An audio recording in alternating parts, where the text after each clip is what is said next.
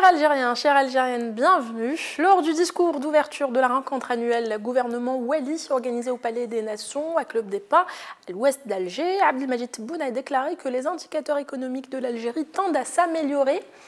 Tous nos indicateurs, selon lui, ne sont plus au rouge, sont au vert ou vont passer au vert. Il a expliqué qu'il y a un travail qui se fait. Je le cite, la Banque mondiale reconnaît que nous avons commencé la bataille pour augmenter la valeur du dinar et qu'il existe des signes positifs allant dans ce sens, et entre autres les thèmes principaux de la presse et du débat d'aujourd'hui avec Azwaou Choumelor, militant politique ici présent. Bonjour Azwaou. Bonjour Amira, je vous remercie pour l'invitation et je dis bonjour à vos téléspectateurs. Merci à vous euh, d'accepter notre invitation. Et nous avons Abdelwakil Blam, journaliste et analyste euh, politique, euh, qui nous rejoindra par téléphone d'Algérie, je l'espère en tout cas.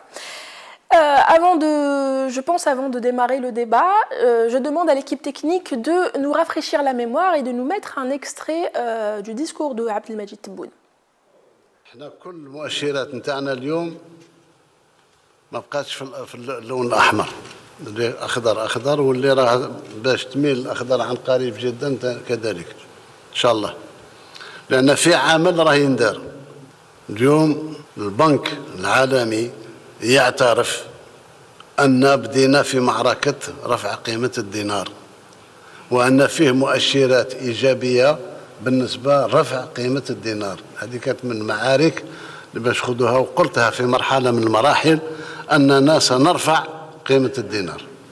وما زال مشوار طويل صح؟ ولكن باش نصلح الكارثة الاقتصادية والمالية اللي كانت قبل هذا هو. لما تسحب بدون مقابل تسحب العملة وتوزع. تخلق تخلق تضخم والقيمة تاع تاع الدينار تاعك يطيح. اليوم رانا نمتص في النتائج السلبية تاع التضخم ورانا نحاول نقوي قيمة الدينار تاعنا اللي تعود بالفائدة على قدرة الشرائية تاع المواطن بالطبع. وأنتم الركيزة الأولى تاع الدولة.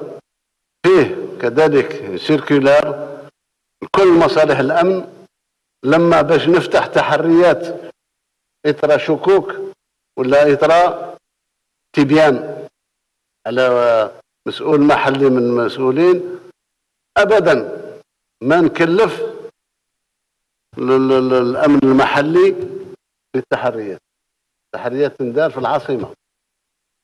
ومن خلال مؤسسات مختصة في هذا الميدان هذا. وراني عارف شاني نقول. دخلنا في دولة إن شاء الله عصرية والعصرانة هذه ما نتراجعش فيها.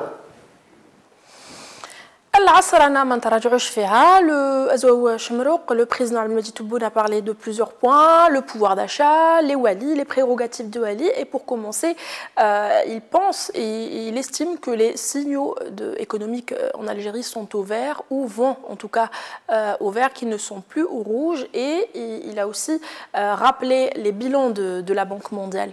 Votre lecture? Bon, ma lecture, bon, elle peut être politique et, un peu économique. Euh, il est dans une propagande quand il parle des indicateurs, mais quel indicateur déjà? Il faut qu'il précise quel, indicateur. Mais euh, euh, le problème, c'est qu'il refuse de voir la réalité des choses. Mm-hmm. Quand on parle, par exemple, de la dépendance algérienne aux hydrocarbures, aux, importations, aux exportations, l'Algérie exporte 98% euh, euh, des hydrocarbures, ce qui, représente euh, une, 90% de ses exportations, c'est-à-dire que qu'il la laisse otage et, et, sujette à des turbulences et des, évolutions internationales qui ne dépendent pas de l'économie nationale algérienne. Mm-hmm.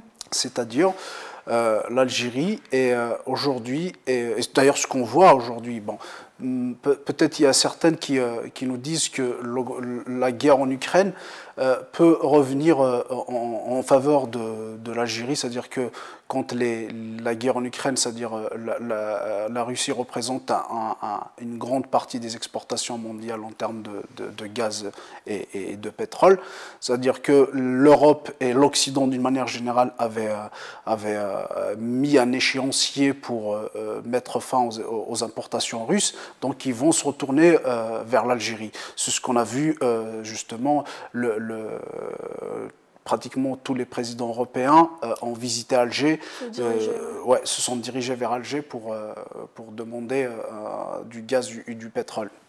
Mais, beaucoup, d'analystes économiques pensent que l'Algérie n'est pas en position de force actuellement et ne pourra pas en tout cas être euh, l'alternative euh, au gaz russe. Certainement. En fait, techniquement, techniquement l'Algérie ne peut pas, c'est-à-dire être une alternative à la, à la Russie en ce qui concerne le gaz et le pétrole qu'elle exporte, c'est-à-dire cette dernière, la Russie, en, mm. Europe. Ça, c'est technique, c'est-à-dire de l'ordre technique. Mais euh, euh, si on parle de, de, de, c'est-à-dire que de la circonstance actuelle, euh, ce n'est pas en faveur de l'Algérie, parce qu'en fait, c'est une loi économique qui est très très simple. Quand vous dépendez euh, des exportations internationales, c'est-à-dire 90% de vos exportations sont des hydrocarbures, et les hydrocarbures, comme vous le savez, sont cotés en bourse, c'est-à-dire c'est des prix euh, qui sont fixés euh, à Wall Street ou, sur le, dans d'autres capitales du monde. Donc en fait, nous, on n'a pas cette, cette capacité ou cette puissance de définir nos prix par nous-mêmes. Et puis, euh, quand les, les, pays consommateurs tels que la Chine achètent, achètent, euh, achètent euh, plus cher en cause de guerre, certainement ils vont vendre plus cher. Et nous, quand on voit nos importations, on importe pratiquement tout, sur tous les secteurs. C'est-à-dire même ce qu'on mange, même ce qu'on, c'est-à-dire de quoi on s'alimente, ce qu'on met, de quoi on s'habille. C'est-à-dire que les, besoins les plus élémentaires des Algériens sont importés. Donc la loi, la règle basique économique dit quand on achète, quand le coût du, produit nous coûte plus cher, évidemment qu'on va vendre plus cher. Donc la Chine, quand elle achète, enfin quand je dis la Chine, je dis, enfin, euh, juste un exemple, après il y a l'Union européenne avec qui on a un accord d'association, quand ils produisent plus cher, parce que le coût d'énergie coûte, coûte plus cher, évidemment, ils vont vendre plus cher. Mais quand ils vont vendre plus cher, ils vont vendre à qui? Ils vont vendre à nous qui, qui, consommons le produit fini, européen ou chinois. Donc évidemment, c'est-à-dire que là, euh, ça va jouer en, défaveur de notre balance commerciale. C'est-à-dire que même si les prix du pétrole ont augmenté euh, d'une manière euh, peut-être vertigineuse à, cause de la guerre, mais le coût de la production due à l'augmentation du coût d'énergie, c'est nous qui vont le, qui vont le subir. peut-être qu'on ne va pas le subir actuellement parce qu'on a un peu de réserve pour essayer. mais au moyen terme? Oui, mais au long terme, au long mais au long terme, euh, je ne peux pas vous le garantir parce que là, ce que je joue, euh, d'ailleurs, j'ai écouté le discours, enfin, j'ai écouté cet extrait, et ce qu'il essaie d'apporter euh, comme solution, c'est une politique monétaire, c'est-à-dire qu'il joue sur la monnaie, sur la dévaluation et l'évaluation du dinar, du dinar pour essayer d'absorber un peu cette, inflation qui est due justement au coût très élevé du, du, produit parce qu'il coûte cher. Et puis, euh, cette politique monétaire, euh, pour absorber l'inflation et pour essayer de ne pas euh, éviter l'érosion du pouvoir d'achat algérien. Mais non, mais c'est... Allez-y, allez-y, vous voulez dire... Le pouvoir d'achat algérien est déjà impacté. Mais justement, pourquoi? Parce que nous, comme on, dépend une grande proportion de notre, de notre consommation, elle vient de l'étranger. Donc, on n'a pas une certaine indépendance et autonomie économique. Donc, ce qu'on produit, elle dépend généralement des marchés internationaux, généralement de la bourse, de la spéculation, et puis du coût réel de, la production. Donc, euh, comme on produit rien, donc on n'a pas cette capacité, ou l'État algérien n'a pas cette capacité ou cette puissance de maîtriser, de maîtriser les prix ou d'avoir une, un certain contrôle sur les prix, d'ailleurs. Et, euh, aujourd'hui, si, bon, d'abord, on est en économie de marché, c'est-à-dire c'est le marché qui décide. Vous ne pouvez pas dire, à moins que ce soit des produits subventionnés, et malheureusement, c'est ce qu'on a, on a vu, euh, les transferts sociaux, c'est-à-dire que les produits subventionnés représentent, je crois, 10% du PIB algérien. C'est du jamais vu dans tous les pays, hein, dans toutes les économies. D'ailleurs, il parle des indicateurs, et un indicateur, donc, quand on parle des subventions, 10% des, des, des, subventions, euh, du PIB algérien part dans les subventions des produits, il part généralement dans la consommation qui est inégale et inéquitable. Donc, à mon sens, qui est inéquitable parce que euh, quand on subventionne des produits, euh, socialement, est une opération inéquitable, est une opération inégale. Pourquoi inéquitable Inéquitable dans le sens parce que vous, vous avez des revenus, des revenus quand même assez confortables pour vous permettre d'acheter une baguette à, euh, je dis le prix du marché, peut-être que 30 ah, dinars. Vous parlez de la, de, la subvention, la euh, subvention des actuelle, en tout cas. Oui, bien sûr, bien sûr, elle est inéquitable parce que si vous, enfin, je parle d'une manière générale, s'il y a des, des, catégories algériennes moyennes qui peuvent se permettre d'acheter une baguette à 30 dinars, ou d'autres non, pourquoi subventionner alors que mhm il y a des gens qui peuvent se la permettre. En plus, ils gagnent assez, assez bien leur vie pour acheter une baguette à 30 dinars. Et, je vais vous dire ça, il y a, aussi, il y a aussi euh, euh, les, hydrocarbures, c'est-à-dire qu'on subventionne l'essence et le, gasoil. Et parfois, il y a des déplacements inutiles en Algérie qu'on les subventionne. On subventionne même des étrangers. Moi, je vais vous dire, c'est que les ambassades aujourd'hui en Algérie, quand ils font leur plein, ils le font avec un prix subventionné par l'Algérie. Donc, où est, où est cette. C'est-à-dire que notre, notre, c'est-à-dire, nos réserves partent pour subventionner même des étrangers.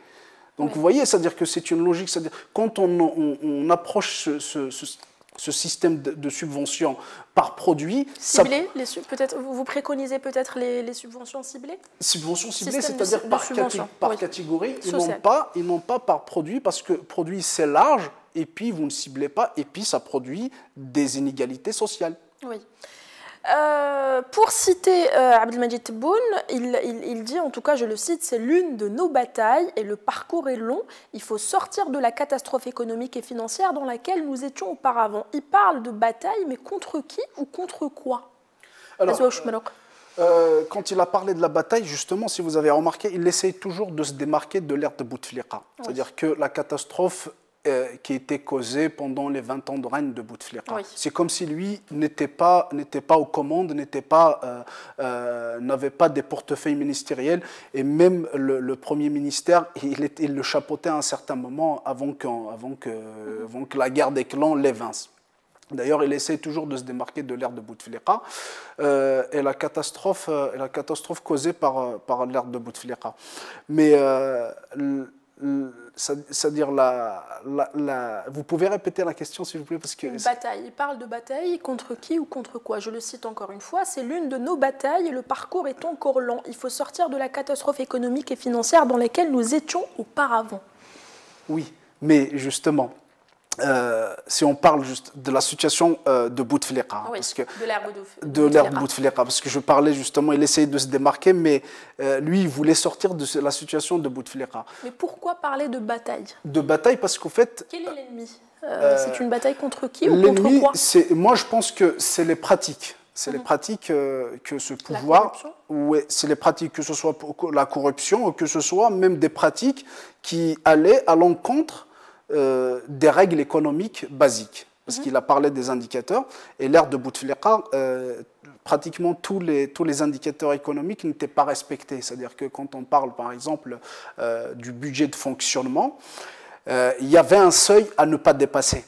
Et Bouteflika l'avait dépassé largement, c'est-à-dire que les, indicateurs étaient au rouge, c'est-à-dire qu'il y avait des, règles économiques, et ça les économistes vont vous l'expliquer, c'est-à-dire qu'il y a des règles économiques qu'il fallait respecter, notamment en ce qui concerne le budget de fonctionnement. Le budget de fonctionnement, d'une manière générale, c'est ce qui va pour euh, financer les salaires des fonctionnaires, d'une manière générale. Et parfois, on recrute des gens et sans contrepartie productive derrière. Et c'est quand vous, vous, le multipliez par des centaines de milliers de, de, salaires, donc ça, vous, ça, vous, ça, vous, euh, ça, va, ça va vous donner une somme de peut-être de millions de dinars ou de milliards de dinars. Euh, donc Bouteflika, pour acheter la paix, c'est la paix sociale, ce qu'on appelle euh, la paix sociale. la paix sociale Donc il avait transgressé toutes les lois élémentaires économiques, justement pour se pérenniser au pouvoir. Mais c'est que euh, il avait, euh, je vais vous donner un titre d'exemple, hein. les événements de 2011, euh, on, avait, on a vu les la jeunesse sortir, il disait, enfin la propagande du pouvoir disait que la jeunesse était sortie pour, pour des, pour, contre les prix de, de, l'huile, de l'huile de table et de, et de, sucre. Alors que je peux, je peux vous le garantir, aucun jeune ne, ne, connaît ou ne sait combien ne, à, ne, connaît combien coûte une, une, une bouteille de, de l'huile. Mm. C'était pour des certainement la jeunesse était sortie pour des raisons politiques et, économiques ou raisons qui leur sont propres. Mais le pouvoir avait détourné ce, c'est-à-dire ces, ces, événements pour dire qu'ils étaient sortis pour le sucre et l'huile. Ce qu'a fait Bouteflika à cette époque-là, en 2011, justement pour absorber cette, cette colère, parce qu'il y avait, si vous vous souvenez, il y avait le printemps arabe qui, qui était en parallèle avec les événements.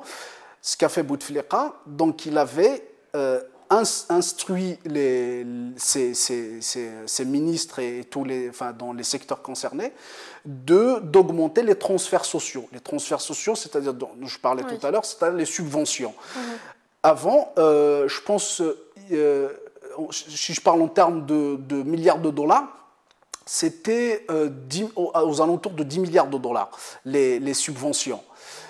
Et entre 2011 et 2013, c'est-à-dire qu'au bout d'un an et demi, euh, ou un, an, un an et demi maximum, on a vu les transferts sociaux se multiplier par 3, c'est-à-dire que devenir 30 euh, milliards quelque chose de, dollars. Ça veut dire que Bouteflika, ce qu'il avait fait, il avait pris de l'argent, l'argent qui était censé partir pour des investissements, censé partir pour créer de la richesse.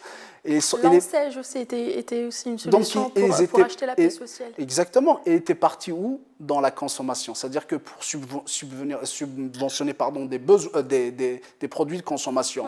Donc on a vu, cette, euh, c'est-à-dire que cette euh, dérive de, de Bouteflika ou de l'ère de Bouteflika, où il, donc, donc il a accentué il, le, le, ce, ce, problème épineux des subventions donc avant on était à 10 milliards, donc maintenant on est à 30 milliards. Donc de sortir de cette, des, 30 milliards, c'est-à-dire que quand on habitue la population à une forme d'opulence, à une forme de consommation, c'est difficile de les convaincre. Et aujourd'hui, déjà, euh, le pouvoir, il est, il, est il est en souffrance en termes de, légitimité. Mm-hmm. Donc, si on touche au pouvoir d'achat, si on érode davantage le pouvoir d'achat des Algériens, certainement le, le, pouvoir euh, va accentuer, c'est-à-dire son, son, son, processus d'élégitimation, si je puis dire. Mm-hmm. Avec, euh, en essayant d'améliorer le pouvoir d'achat, mais, mais le, non, mais justement, le pouvoir d'achat, c'est que lui, il a parlé de la politique monétaire, c'est-à-dire qu'il va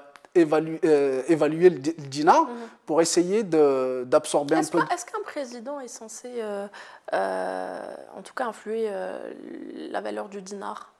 Oui, ça se fait, ça se fait. c'est pas, enfin, le président, parce que je crois que le président, euh, enfin, je, si je, si je ne dis pas, dis pas de bêtises, c'est que le président, il a la main mise sur le, gouverneur de la Banque d'Algérie, chose qui n'est pas, qui ne se fait pas ailleurs. Donc, mhm. euh, la, les, gouverneurs des banques, euh, des banques centrales, euh, ils ont la, totale indépendance et des autorités indépendantes, ils ont la totale indépendance de jouer sur, sur les, politiques monétaires euh, qui sont propres à leur pays. Alors qu'en Algérie, je crois que le, gouverneur d'Algérie est, sous, l'autorité du président de la République. Bon, ça ne m'étonne pas parce que le président de la République, il a tous les pouvoirs, y compris, il a des pouvoirs sur les contre-pouvoirs, que ce soit parlementaire, juridique ou judiciaire. Donc ça ne m'étonne pas dans un pays dictatorial tel que, le nôtre.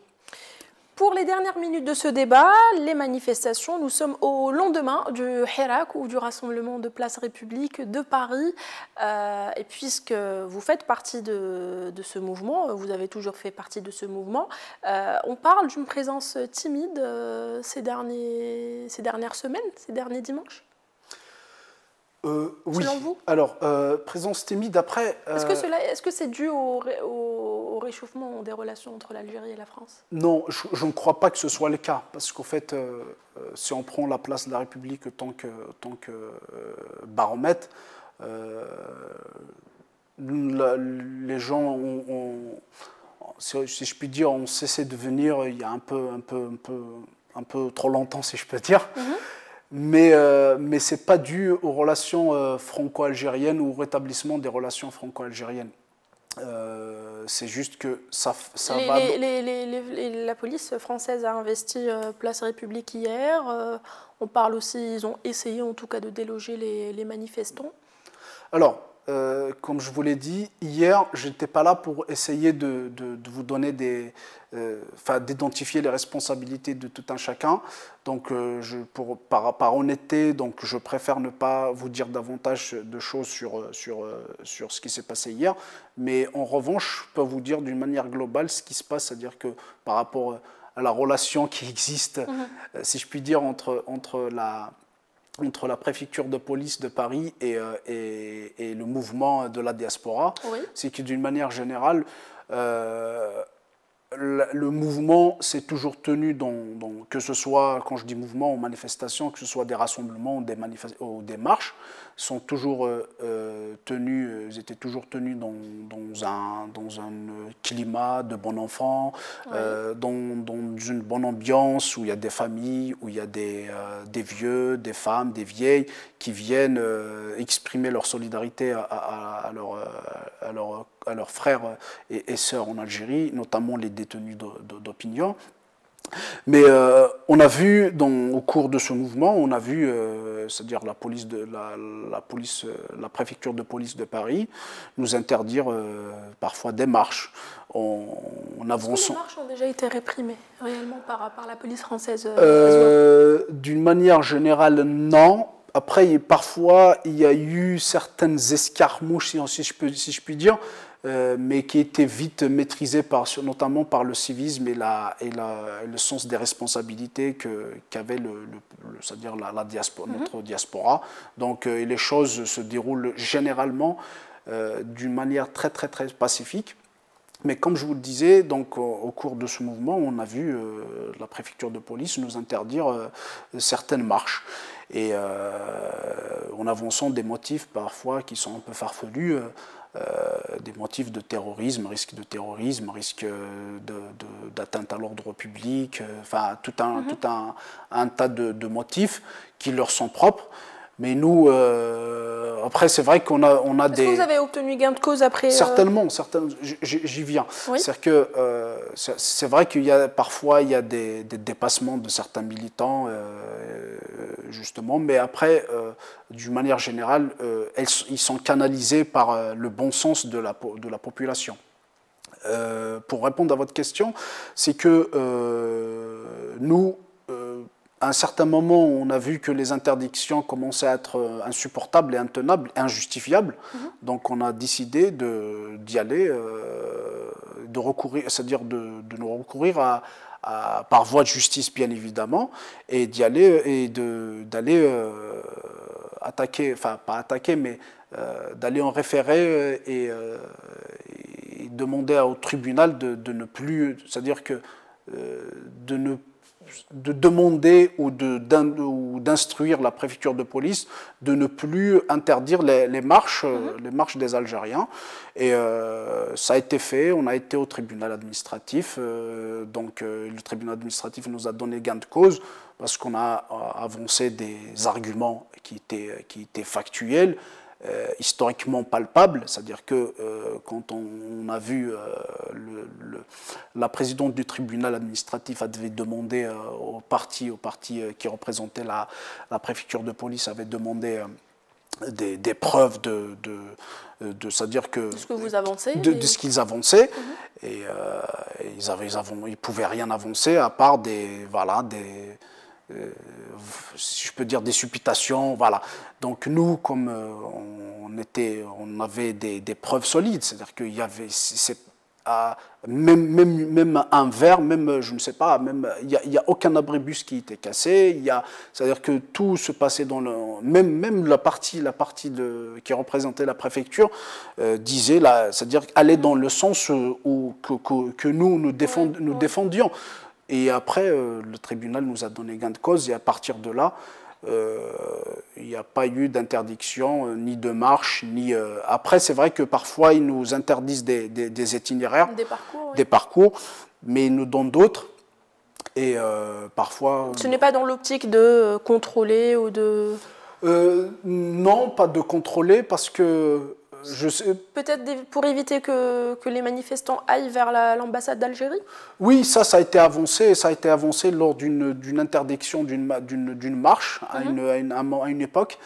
ça a été avancé et puis euh, nous, on avait dit, euh, bon, vous nous interdisez cette, cette, cet itinéraire, on ira vers l'autre. Parce que nous, ce qui est le plus important, enfin, je, je le pense, ce n'est pas l'itinéraire de la marche, c'est le message qu'on envoie au pays. C'est-à-dire que on sait bien que la diaspora ici, c'est-à-dire que euh, était une forme d'espoir, une lueur d'espoir pour la population, surtout euh, quand il, il, est, enfin, surtout au moment où, les, où, les, marches sont interdites et réprimées en Algérie. C'est-à-dire qu'on était euh, une forme d'espoir. Le plus important pour nous, c'était d'envoyer un message d'espoir et de solidarité à notre population. Ce n'est pas l'itinéraire de, de, de, la marche ou de gagner du terrain à Paris. C'est pas le plus important pour nous. Le plus important, c'est que qu'il y ait des réformes, qu'il y ait des une véritable démocratisation dans notre pays. Merci Ezouaou Chemeler, vous êtes militant politique. Merci à vous de nous avoir euh, suivis, de nous avoir regardés. Merci à l'équipe technique pour ce, cet excellent travail. C'est la fin de cet épisode. Je vous donne rendez-vous dans un nouvel épisode, toujours sur l'Algérie. Au revoir.